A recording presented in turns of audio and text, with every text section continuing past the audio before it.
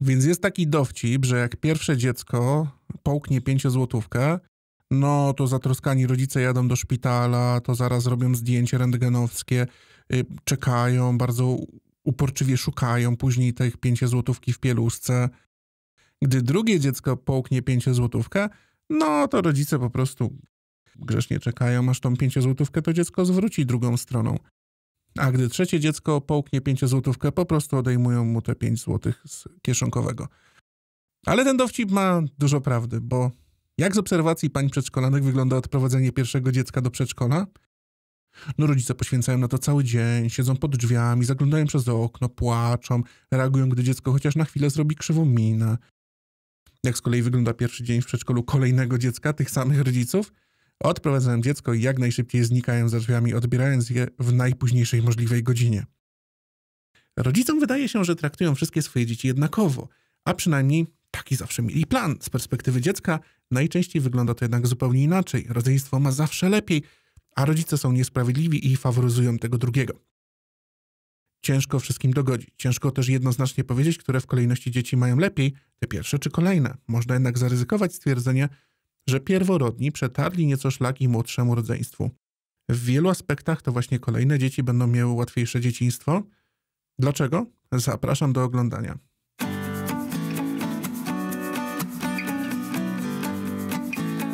Cześć tu Leszek, tata Tomka, a Ty oglądasz Praktyczne Rodzicielstwo, kanał poświęcony byciu lepszym rodzicem i opiekunem.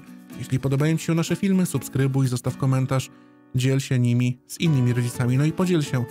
Jeśli masz rodzeństwo, to czy ono było faworyzowane, czy jednak Ty? A ja przygotowałem 6 powodów, dlaczego kolejne dzieci w rodzinie mają po prostu lepiej. Pierwszy powód? Nigdy nie będą jedynakami.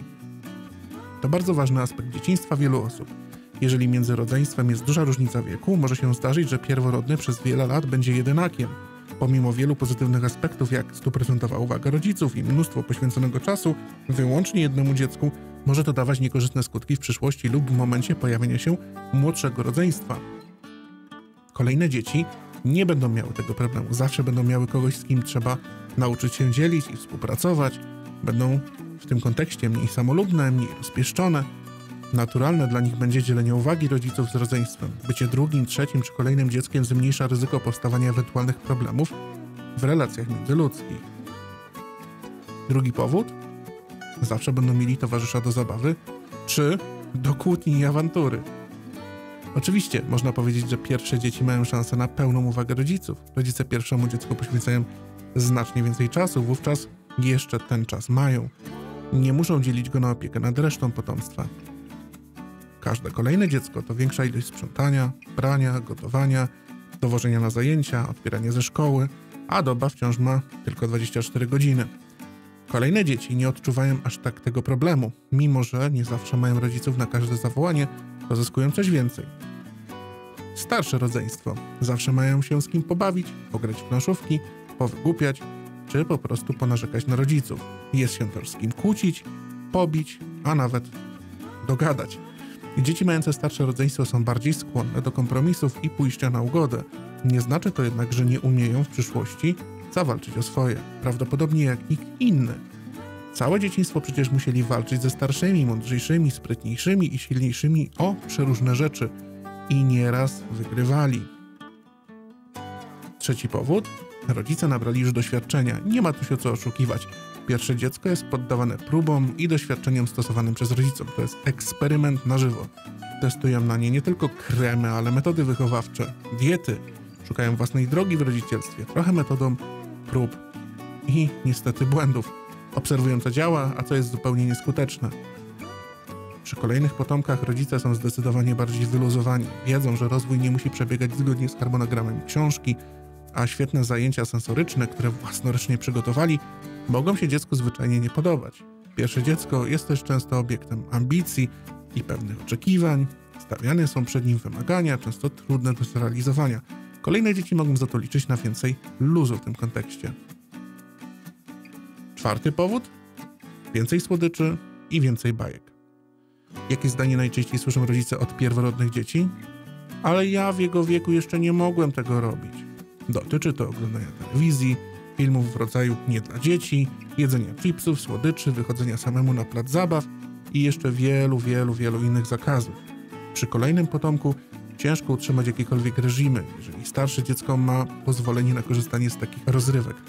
Młodsze, widząc to wszystko, nie jest w stanie pojąć i zrozumieć, jaka jest między nimi różnica, która zabrania jemu się bawić, czy jeść lody i batony, czy oglądać ten film.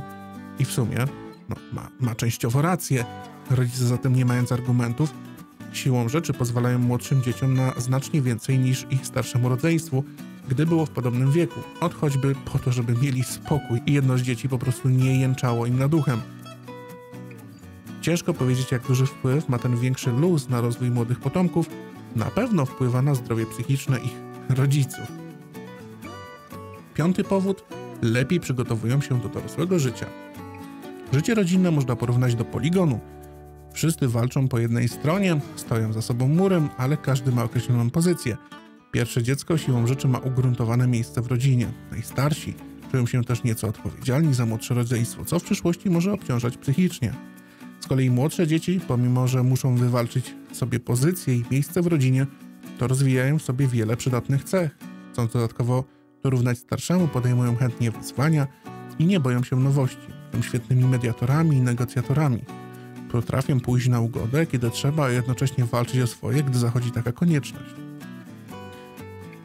No i szósty powód. Są odporniejsze i to nie tylko na choroby. Dzieci mające starsze rodzeństwo wychowywane są w bardziej, w cudzysłowie, normalnych warunkach. Tylko przy pierwszym dziecku podczas zasypiania zapada grobowa cisza, a nikt nie ma prawa głośniej westchnąć. Tylko pierworodni są leczeni z kataru, mają selekcjonowane zabawki i zajęcia dodatkowe. Kolejne dzieci wychowywane są już bez takiej szklanej bańki.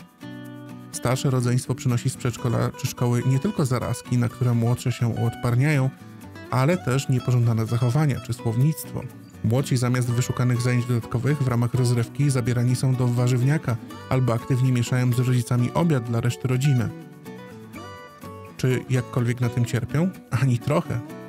Te, w cudzysłowie normalne, właśnie warunki ułatwiają im życie społeczne, rodzinne, ale także wejście w dorosłość. Ja dziękuję za Twój czas i widzimy się w kolejnym filmie.